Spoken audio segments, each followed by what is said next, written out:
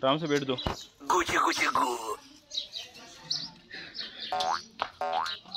पूरा बैठ जा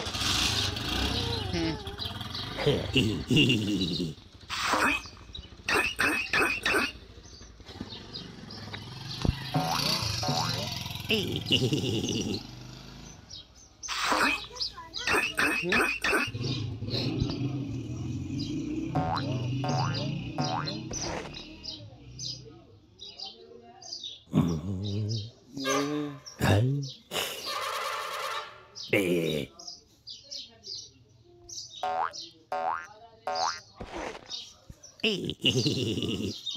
कटवा का हाल जाकर ठीक है?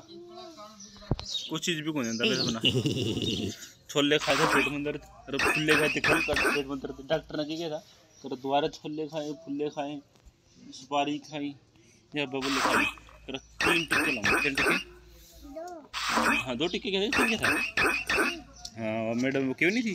कहेंगे पेट में दर्द हो जाएगा इसका फिर ये खाने नहीं टड़ देगा हाँ, मोहम्मद? हाँ।